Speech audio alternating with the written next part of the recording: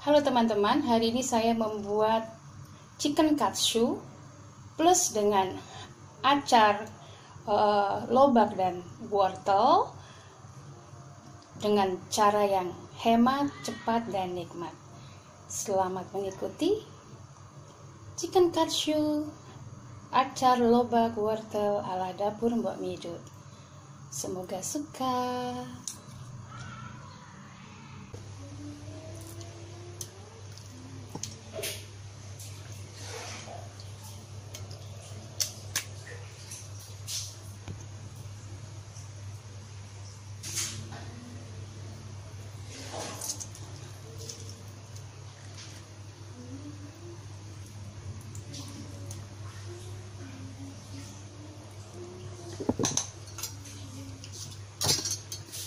Ini ayam filenya tadi kurang lebih uh, tidak sampai seperempat ya.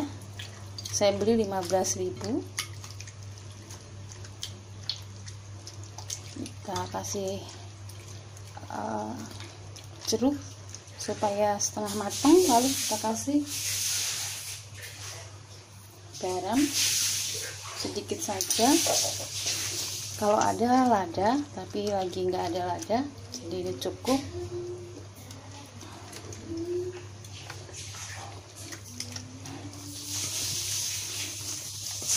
saya mau kasih sensasi rasa saus tiram. Jadi saya kasih sedikit saja saus tiram. Kita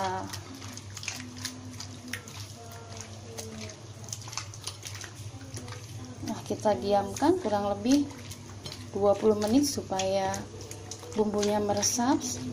Saya mau geprakin bawang putih supaya lebih sedap dan lebih sehat karena buat anak-anak.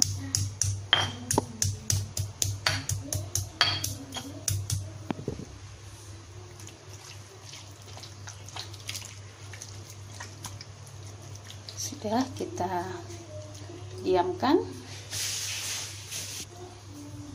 nah ini adalah lobak dan wortel akan saya parut. Ini saya beli 5000 dua-duanya ya tadi sudah dikupas dan dicuci sekarang akan kita parut.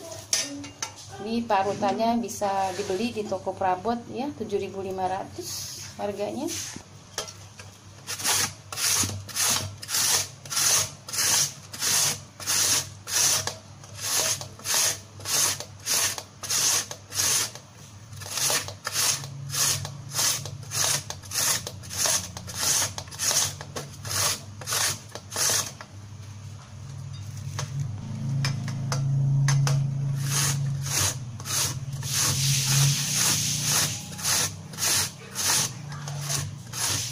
ini lobak dan uh, wortelnya. Nah, wortel bukan timun ya. Itu sehat ya bagus buat uh, kesehatan. Kita parut semua. Nah setelah itu kita masukkan lobak dan timun eh timun lagi. Uh, wortelnya ke dalam wadah. Kita akan buat acarnya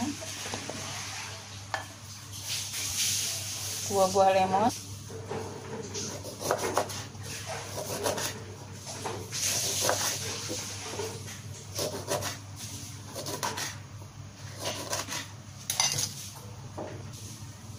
Kita masukkan.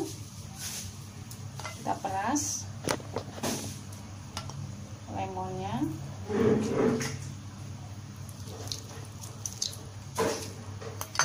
Jangan sampai terbawa itunya bijinya nanti pahit.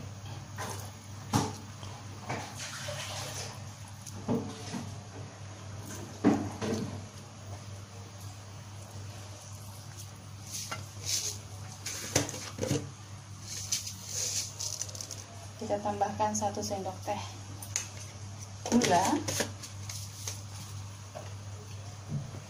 Dan garam sedikit saja garam seujung. Lalu kita aduk-aduk. Eh sorry. Kameranya kesenggol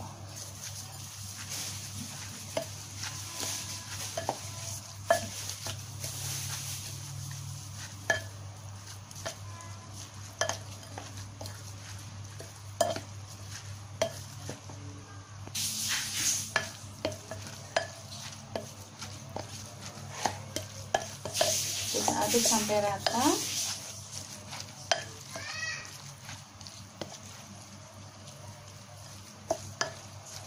Sudah kita diamkan.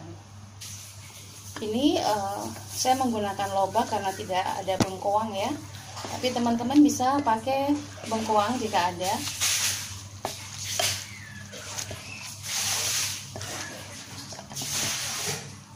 Sudah diamkan ini seperempat kilogram terigu biasa.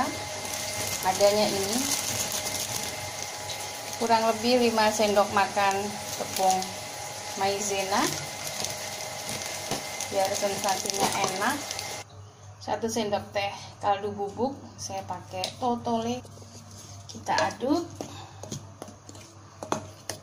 Biar nanti rasanya enak. Kalau ada bubuk bawang putih bisa ditambahkan bubuk bawang putih ada saya nggak ada jadi gini aja.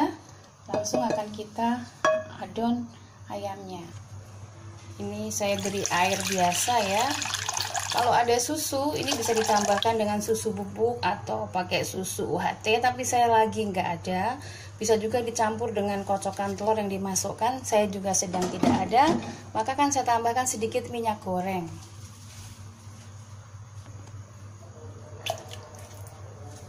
kurang lebih satu sendok makan minyak goreng. Kita aduk. Nah ini sekarang saya ambil satu buah uh, apa ayam. Kita celupkan sini. Kita masukkan ke tepungnya. Jangan ditekan-tekan ini baru sekali. Kita masukkan lagi sekali lagi. Ini tadi air e, celupannya sudah saya kasih e, garam sedikit saja supaya tidak tawar. Sedikit ya tadi. Nah ini. Dan ini yang kedua. Kita masukkan lagi gini ditiriskan. Lalu kita celupkan lagi ke tepungnya. Jangan ditekan di ini aja. Gini-gini ini ya biar nanti bergerendil-gerendil. Kita celupkan lagi. Berapa banyaknya terserah seberapa mau tebal. Nah masukkan lagi sementara itu kita siap-siap memanaskan minyak karena digorengnya harus dengan minyak yang sangat panas.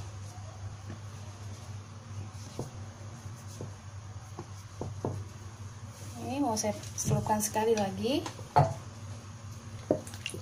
Celup langsung ditiriskan. Setelah tiris masukkan ke adonan tepungnya seperti ini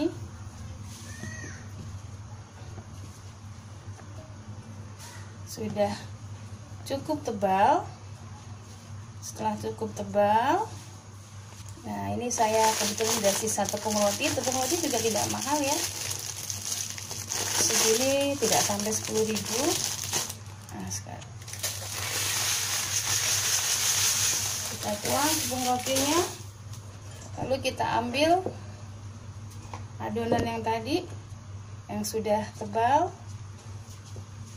kita masukkan sekali lagi ke air celupan keder ya. Ya lalu kita ambil.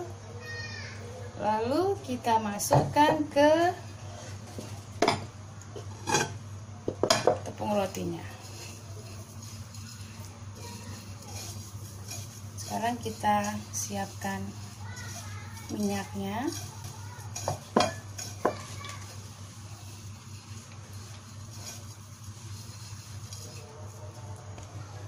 Kita panaskan minyak.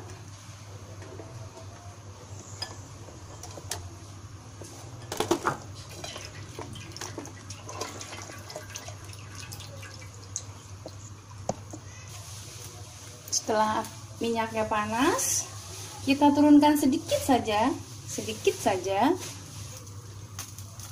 Lalu kita masukkan ayamnya.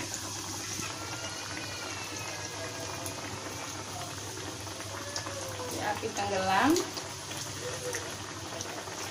Kita biarkan. Kita sekarang adon yang lain. Kita balik sekali saja jangan dibolak balik kita cukup balik sekali saja lalu kita angkat. Nah hasilnya seperti ini. Cantik banget kan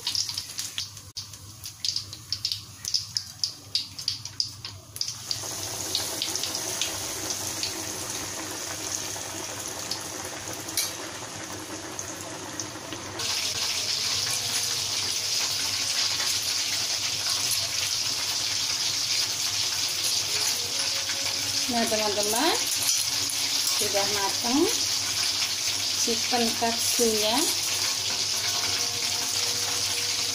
jadinya banyak ya. Masih ada yang digoreng masih ada tiga potong lagi. Kita lihat dulu dalamnya ya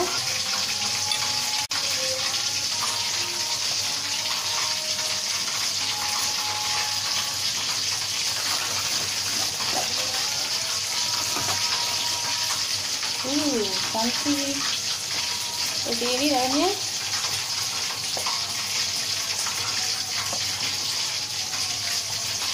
Sukses ya. Selamat mencoba. Chicken katsu kilat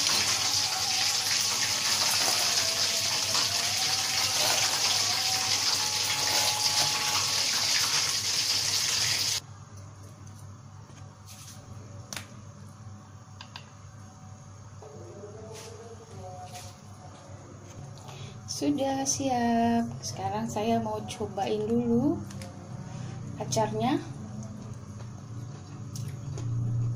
11-12 lah ya.